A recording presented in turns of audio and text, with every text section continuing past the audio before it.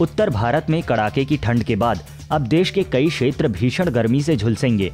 हाल ही में भारत मौसम विज्ञान विभाग द्वारा गर्मियों के लिए जारी पूर्वानुमान के मुताबिक पूर्वी, पश्चिमी और उत्तरी भारत में अधिकतम तापमान सामान्य से शून्य दशमलव आठ छह डिग्री सेंटीग्रेड से ज़्यादा रहेगा।